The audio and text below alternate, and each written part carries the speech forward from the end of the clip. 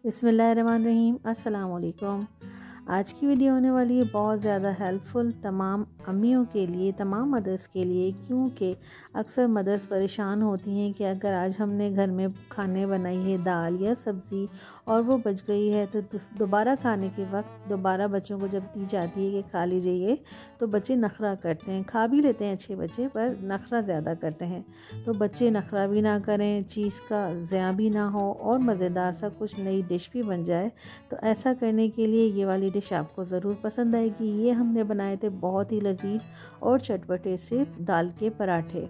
अब दाल हमारे पास तो थी मसूर की पकी हुई। अगर आपके पास मूंग मसूर मिक्स पकी हुई है या सादा मूंग की दाल पकी हुई है तो उसके भी बहुत इजीली बहुत ही मज़े के पराठे बन जाएँगे। ये हमारे पास एक कप पकी हुई दाल रखी हुई थी। दाल थोड़ी गाढ़ी गाढ़ी है। एक दिन पुरानी दाल के साथ होता भी ये है कि उसका पानी बिल्कुल खुश्क हो जाता है और वो गाढ़ी हो जाती है। तो ये गाढ़ी थी एक कप मसूर की दाल थी, साथ ही इसमें हमने ऐड कर दिए थे क्वार्टर कप चौथाई cup chopped coriander leaves fresh fresh coriander था हरा धनिया, उसको हमने चॉप करके इसमें ऐड कर दिया था। अब हम इसमें ऐड करेंगे आटे को। आटे का रेशो वैसे तो हमने एक कप ऐड किया था, पर आपका कम या ज़्यादा इसलिए हो सकता है कि दाल की लिक्विडिटी कितनी है उसकी बेस पर। आटा गूंदने के लिए हमें फिर कोई पानी का इस्तेमाल नहीं करना पड़ेगा। आटा हमने अच्छे से छान के यूज़ कर लेना है, ताकि अगर कोई गुठली है, कोई धनोरा वगैरह आ गया जैसे कि मौसम के हिसाब से आ जाते हैं तो वो छन जाए। उसके बाद इसमें हम शामिल कर देंगे हसब ज़ायका नमक। नमक हम आटे के रेशो के हिसाब से डालेंगे दाल में तो ऑलरेडी नमक मिर्च डला हुआ है।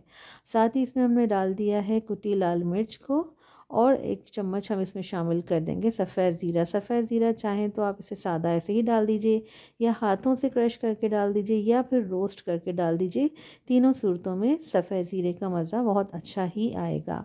अच्छा जी इसके अंदर आटा और ये मसाले डाल लेने के बाद हमने अच्छे से दाल को और आटे को मिक्स कर लेना है। अभी इसमें हम पानी को बिल्कुल भी इस्तेमाल नहीं करेंगे और ना ही इसकी ज़रूरत पड़ेगी। जब इसको अच्छी तरह से डो को हम लगा लेंगे तो उसके बाद उसको हम थोड़ा तेल लगा के रख देंगे ताकि डो अच्छे से सेट हो जाए। तकरीबन आधे घंटे रख लेने के बाद हमने इसे हल्के हाथ से बेल लेना है और दोनों जानब घी लगा के तल लेंगे। घी लगाने से पहले इस चीज़ को श्योर कीजिएगा कि रोटी दोनों जानब से अच्छी तरह सिक चुकी है। उसके बाद घी लगाइएगा तो रोटी कच्ची नहीं रहेगी और मज़ेदार पराठा बनेगा।